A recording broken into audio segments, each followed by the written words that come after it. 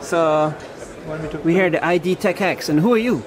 Hi, so I'm Muhammad Farooq. Uh, I'm representing University of Alabama, and actually we have a startup uh, booth 24. If you want to go over there, uh, so this is one of our uh, work. Uh, so we're presenting an earlier uh, prototype, and now I'm wearing an, like the latest prototype over here.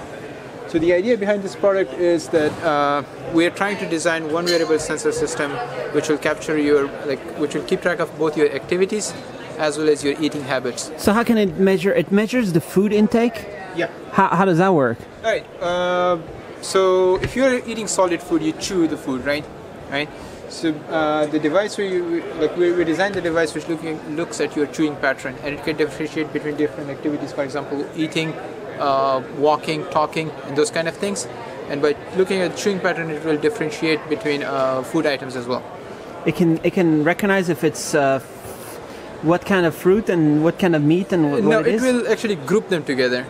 So it will kind of let's say it can differentiate if you're uh, eating a salad versus chips or something like that. Really? Yeah.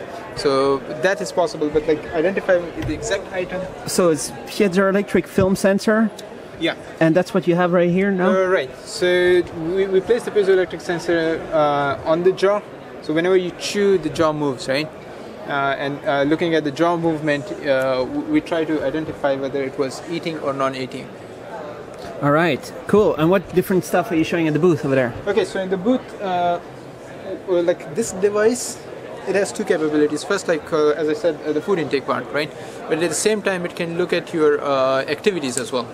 So like whether you're, you're walking and uh, like resting, sedentary. So a lot of the variables, uh, if you see physical activity trackers, right, they will just give you the energy expenditure. But this device will give you the energy intake as well. And then we have another product which is a smart shoe.